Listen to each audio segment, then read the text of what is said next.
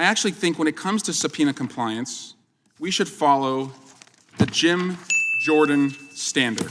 So this is our chairman, hauling all us here, everyone here today, people at the Department of Justice, the Department of Education who are doing important work to claim they are out of compliance when he himself is currently out of compliance. You don't have any uh, transcriptions of their interviews? We have the first one, and we have the dozens who've come and talked to our office. Uh, They talked to your office privately, They talked to Republican staff, right? And they're not transcribed, no notes, no nothing? The first one happened Tuesday. No, no, I'm not talking about the first one, I'm First one the happened Tuesday, the next one happens tomorrow, the third one happens next Wednesday, and we'll continue to do that. You just said dozens. An FBI whistleblower, another FBI whistleblower, another FBI whistleblower, another FBI whistleblower, an FBI whistleblower, another FBI whistleblower, another FBI whistleblower, dozens and dozens of whistleblowers. We're doing it the way we were supposed to do it, Mr. Goldman. No, you're supposed to turn it over to the minority. When they, when they, ha- when they come and testify, you'll, you'll have access to the transcript like everyone on the committee will. You mean your staff is not going to turn it over to our staff? We're just in the dark? Jim Jordan's obstruction of justice committees that he's overseen have less cre- credibility today than they did when we convened just three weeks ago. The other day, Jim Jordan was asked, Well, what do you think of the former president who put out on Truth Social the other day essentially another call to action, a January 6th like post, when the former president said this posting? Jim Jordan was presented with this post by the former president that calls for death and destruction. And Mr. Jordan said that he would need his glasses. He was looking the other way. Jim Jordan looking the other way. You got a politician who does certain things, those actions then benefit his family financially, and then there's an effort to conceal it and sweep it under the rug. The impeachment power, as the chairman said, is a power that solely resides in the House. When you have a majority the House of Representatives go on record, that sends a message. We think we get timely participation from the witnesses we need to talk to and the documents Mr. Comer has been seeking. Finally, I would say this about this changing story from the White House, this changing story from the Justice Department. Today, Hunter Biden did a press conference. He was supposed to be in a deposition. He did a press conference. And at that press conference, he said, My father was not financially involved in the business. Well, that's an important qualifier. We haven't heard that. For three years, we haven't heard that. All we've heard is Joe Biden had no involvement. Now his son does a press conference when he's supposed to be being deposed and says he wasn't financially involved. Well, what involvement was it? Every conspiracy theory we just heard has been debunked, not true, and distorted from the facts. Because this impeachment inquiry is political vengeance directed by a twice impeached, four times indicted president and carried out by extreme MAGA Republicans. Are, are you serious that Jim Jordan, a witness to one of the greatest crimes ever committed in America, a crime where more prosecutions have occurred than any crime committed in America, refuses to help his country and we're going to get lectured about subpoena compliance and contempt of Congress? Jim Jordan won't even honor a lawful subpoena? Are you kidding me? Are you kidding me? Many people in the Jewish community asked the chairman, Chairman Jordan, to take this down. And it wasn't just members of Congress, it was nonpartisan Jewish organizations who said, Kanye West is anti Semitic. I don't know what you're doing, but please do not give him a platform by leaving this tweet up. It stayed up for months, defiantly. This committee should have a conversation and a hearing about anti Semitism. But I would first insist that the chairman, I don't know why he put this tweet up. Either he believes it, which I hope is not the case, or he just wanted to own the libs. And if that's what you're doing, you're hurting a lot of people by keeping that tweet up for so long, especially knowing what it represents. And this entire Congress has been Jim Jordan and MAGA Republicans feeding Trump. They're just feeding the beast with the insane hearings that they're holding all over the Capitol. That's why these three witnesses have been pulled out of the important work they do, is because Trump is not eating. This isn't Top Chef. This is the United States Congress. We were sent here to govern. We're not sent here to work every day on behalf of one person. He's not eating, and that's why you're here, to feed him. We're only here today because Chairman Jordan and his colleagues want to make a show of defending a former, failed, twice impeached, crooked president. Facts are supposed to influence action. Horrifying facts are supposed to elicit a response. Yet my Republican colleagues prefer gesturing about violent crime rather than doing something about it. The idea that this guy uh, is a Republican nominee to be Speaker, a guy who aggressively agitated the activities that happened on January 6th, I think is disgusting. Jim Jordan is uh, not without political talent, as you can see from his astonishing run for Speaker right now, but he is a MAGA extremist who um, is in direct contact with Donald Trump on a continuous, constant basis. He's anti choice, he's anti environment. Um, and so it would basically cement the transformation of the Republican caucus into uh, a pro Trump MAGA party. Mr. Speaker Pro Temp, Madam Clerk, colleagues, on behalf of the House Republican Conference, I rise today to nominate the gentleman from Ohio, Jim Jordan, as Speaker of the People's House. I am reminded of the book of Esther. For such a time is this. Jim Jordan will be America's Speaker for such a time as this. Whether as Judiciary Chair, conservative leader, or representative for his constituents in West Central Ohio, whether on the wrestling mat or in the committee room, Jim Jordan is strategic, scrappy, tough, and principled. He is a mentor, a worker, and above all, he is a fighter. And the American people know, we know, that Jim Jordan is a winner on behalf of the American people. We are here because the House has been thrown into chaos. We are here because this hallowed chamber has been led to a breaking point by two dangerous forces extremism and partisanship. This body is debating elevating a speaker nominee who has not passed a single bill in 16 years. These are not the actions, these are not the actions of someone interested in governing or bettering the lives of everyday Americans. This is nothing less than the rejection of the oath that we swore to uphold as duly elected members of this body. He's had the courage to talk about a long term plan and to get at the real drivers of debt. And we all know what they are. We all know it's Social Security. We all know it's Medicare. We all know it's Medicaid.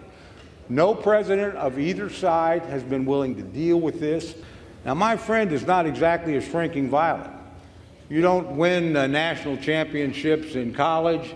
You don't come to this floor with a sincere set of beliefs and a desire to make a change uh, and be shy about it. 212 to 200. No amount of election denying is going to take away from those vote totals. The Speaker of the House must be a legislator, and the gentleman from Ohio falls short in that regard. He supports an extreme agenda and is hell bent on banning abortion nationwide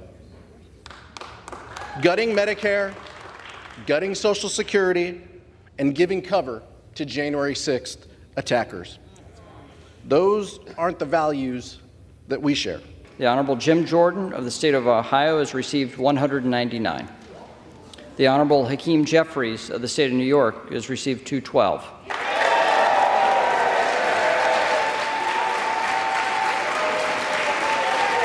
The chairman just reference in the face of continued obstruction. And, and, I think it's quite rich that we are talking about subpoena compliance under a chairman of the full committee who was absolutely out of subpoena compliance in the last Congress. Uh, so we're going to haul witnesses in here today uh, and claim that they did not comply with subpoenas or requests. And that request is so rich because it's coming from a chairman who himself did not comply with the January 6 committee's request. So, May 31, you see a letter sent to then Representative Jordan asking that he honor his subpoena. He was asked over and over and over, You were a witness to a crime. You were a witness to the greatest crime ever committed with the most criminals ever indicted in America. Will you help your country? Will you comply with that subpoena? No compliance, crickets absolute defiance of the subpoena. And because of that defiance, the chairman was referred, and it's still pending, to the House Ethics Committee. And why? Well, it's because he took an oath. And I want to have the congressional oath uh, put up there, but The congressional oath mandates that members of Congress defend the Constitution without any mental reservation, or as it says on the slide, purpose of evasion, not responding to a congressional subpoena, is a direct purpose of evasion.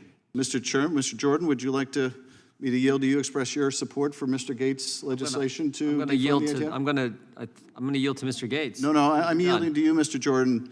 Well, I'm going to to let listen to me Mr. know- I'm going to listen to Mr. Gaetz' compelling Jordan- arguments Mr. that I know will be Jordan- coming, and then we Mr. will Jordan, have a reclaiming debate. my time, I, I'd be happy to yield to you for the purpose Well, of yes. I appreciate your willingness. Mr. Jordan, if you let me finish. I will. It would abolish, it would eliminate the Bureau immediately after enactment. Do you support that, Mr. Jordan? Yes or no? I've given my answer. Do you support it? I've given my answer. Yes or no, Mr. Jordan? I've given my answer, Mr. Schiff. Okay, I guess your answer is you don't support it, or, or you're afraid to say that you do. But I, I, I'm hoping, uh, I'm happy to yield to Mr. Johnson, or Mr. Biggs, or Mr. McClintock, Mr. Tiffany, Mr. Massey, anyone. Anyone else like to join Mr. Gaetz and anyone, anyone like to, uh, any, like, anyone like to express their support for Mr. Gaetz' effort to abolish an entire federal law enforcement agency? Anyone over there? I'm happy to yield to you for the purpose of saying yes or no whether you support Mr. Gaetz' efforts to defund the ATF. Do you, Mr. Jordan? I support Mr. Gaetz' effort to send a message to the ATF, which is what he said so just a you few do minutes support ago in the you debate. support the legislation to uh, defund the ATF? I didn't say that. I said I support his efforts to send a message well, to the, the, bill, ATF, the who, bill that Mr. Gaetz has introduced changed the says- rule after 10 says- years of telling American citizens that it would it would abolish, it would eliminate the bureau immediately after enactment. Do you support that, Mr. Jordan? Yes or no? I've given my answer. I- I'm not getting a yes or no from anyone. I was getting to that. Well, yes or sorry- no? I'm sorry, yes but- no, Mr. Issa?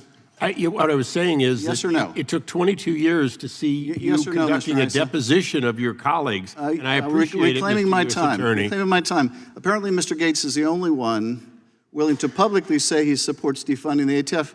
Maybe that's progress, and, and I hope that will mean well, that, gentleman- that I my think there's gonna colleagues be a will vote. I think there's gonna be a vote. I You're hope- gonna know here in a I couple I hope that my colleagues will accept the amendment. Uh, The gentleman's time none has of them would- expired. The none of- gentleman from Excuse me, I'm reclaiming my time, Mr. You don't Chairman. have any time to reclaim. Well, I would if you hadn't been speaking over it. No, you, you ask us all the questions. Well, and what's the answer, The Mr. gentleman Jordan? from What's the- Arizona what's the answer? Do you support withdraws his repu- do you support abolishing the ATF, Mr. Jordan? the gentleman from Florida is recognized. They are now imposing on regular Americans a sense of zero tolerance that isn't for public safety.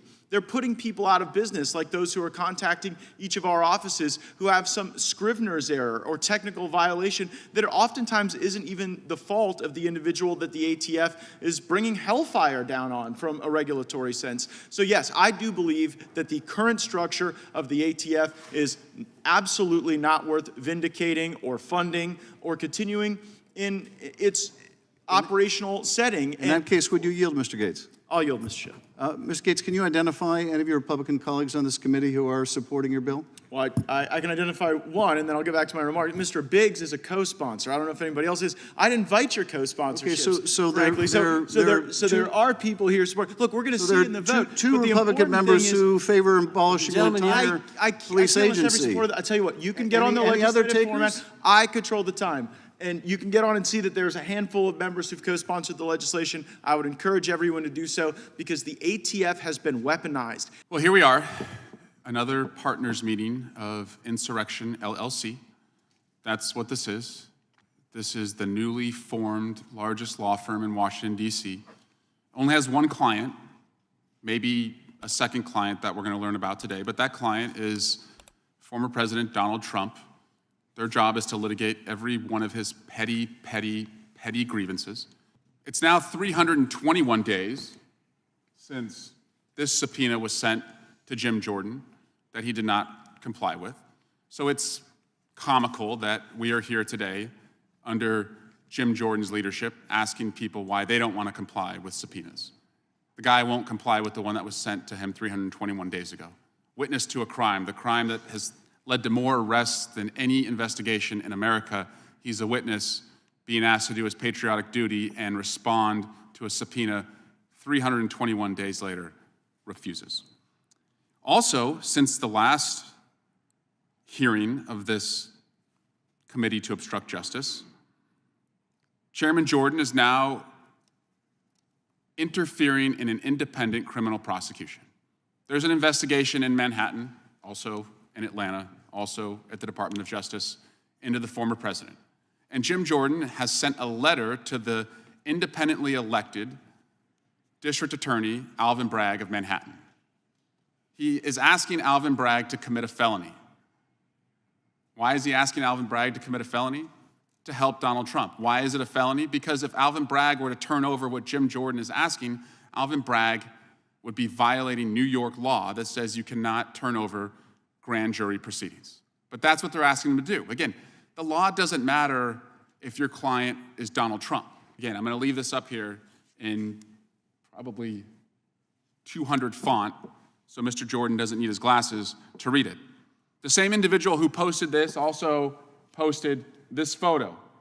There you go, Donald Trump, real tough guy, holding a baseball bat next to a picture of that independent prosecutor that Jim Jordan wants to commit a felony, Alvin Bragg. But you won't hear from this committee to obstruct justice any condemnation of what Donald Trump posted. They can't condemn him. They can't. So, in their silence, they condone it. And in these posts from Donald Trump, he incites more and more Americans to commit violence, like a woman who was arrested yesterday near Times Square with a knife seeking to carry out an act of violence in Donald Trump's name. There's no credibility. Uh, there's no credibility on Jim Jordan's committee to obstruct justice. He can't talk credibly about witnesses not complying with subpoenas, and that's why he's not here. he wasn't at the last hearing. He often goes to subcommittee hearings. This is one of the only ones he doesn't go to. It's because there's no credibility. You can't ask people to comply. You can't complain when people don't comply when you are 321 days into your own non compliance. Just doesn't work. So he, he won't come here. He'll, he'll, ask my friend, Mr. Cline, here, who's doing his best job uh, to represent Mr. Jordan, to do that instead. But Mr. Jordan won't come here. Mr. Jordan will pull the old, I don't have my reading glasses trick when he's asked if he will condemn a threat of death and destruction by the former president. As Mr. Ivey pointed out, more kids will be victims of gun violence, and the committee that can do something about it will focus on this nonsense. But I know where Mr. Ivey and I are on the issue of gun violence. We're going to continue to stand up to protect kids. It's clear that these guys are only here to protect Trump. And I yield back. Mr. Attorney General, my colleague just said that you should be held in contempt of Congress. And that is quite rich because the guy who's leaving the hearing room right now, Mr. Jordan, is about 500 days into evading his subpoena. About 500 days. So if we're going to talk about contempt of Congress, let's get real. There's no credibility on that side. Mr. Attorney General, you are serious, they are not. You are decent, they are not. You are fair, they are not. So I welcome you to the law firm of Insurrection LLP where they work every single day on behalf of one client, Donald Trump. And they do that at the expense of millions of Americans who need the government to stay open, who want their kids safe in their schools, and would like to see Ukraine stay in the fight so that we don't help Russia. That's the expense that this nonsense, this clown show, I'd call it a clown show, except they actually have real responsibilities that affect real Americans. It's the difference between one side that believes in governing and one side that believes in ruling. You've tried to comply with this committee. In fact, last week, one of your special agents came here for an interview, brought his lawyer, and was told that he couldn't have his lawyer present. Mr. Jordan, who tells all of us he knows so much about the Constitution, wouldn't afford one of your employees one of the basic constitutional rights to have a lawyer present. In fact, they threatened to call the Capitol Police and arrest a lawyer that was brought. Are you familiar with that standoff that occurred last week, Mr. Attorney General? Uh, generally, yes. Well, your office also sent a letter detailing it that you were willing to comply, but you'd like him to have a lawyer, and I'd like to submit that to the record with unanimous consent. Without objection. Who appointed Mr. Weiss? Well, Mr. Trump was the last person who appointed Mr. Weiss to the position of U.S. Attorney. I appointed him to the position of Special Counsel last month. Who initially appointed John Durham? Mr. Durham was, I believe, also appointed by President Trump, um, and uh, Mr. Barr appointed him as special counsel. And again, these guys are so upset that Donald Trump's appointed prosecutors aren't doing enough of the corruption that Donald Trump wants them to do. So either they are just following the law or they're not as corrupt and they're not willing to go as far as they think that Donald Trump deserves. That's what they're asking to happen here. The chair now recognizes the gentleman from California for five minutes. Ms. Burdett, you are an expert on anti Semitism, and I want to read a few uh, different statements to you, and if you can just give me a yes or no as to whether you would consider them anti Semitic. I prefer my kids' new Hanukkah from Kwanzaa. At least it will come with some financial engineering. Anti Semitic or not? Very potentially. I just think that's what they're about, is making money, in a reference to Jared Kushner and his Jewish family. You think that's anti Semitic? Anti Jewish stereotype. Planned Parenthood was made by Margaret Sanger, a known eugenics with the KKK to control the Jew population. When I say Jew, I mean the 12 lost tribes of Judah, the blood of Christ, who the people known as the race black really are. This is who our people are. Anti Semitic or not? A little too confusing for me to decipher. We'll get to that. this ain't a game. I'm going to use you as an example to show you the Jewish people that told you to call me that no one can threaten or influence me. I told you this is war. Now gonna get you some business. Still confusing? Uh, uses two stereotypes um, about Jews as being motivated only by business and having nefarious control uh, that isn't real. Last one.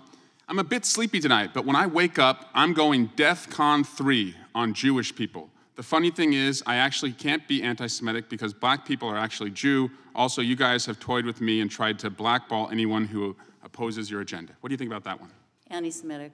Yeah. So, what I'm concerned about is that we have anti Semitic posts coming from this committee. And last October, the chairman tweeted out on October 6th Kanye, Elon, Trump. Those five statements that I just read to you were from Kanye West, who had made a number of anti Semitic statements before this tweet was put up, and then made the DEF CON statement about a day after the tweet was put up.